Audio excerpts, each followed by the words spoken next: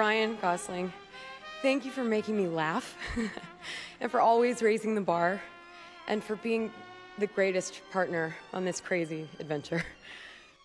I'm gonna put some dirt in your eye.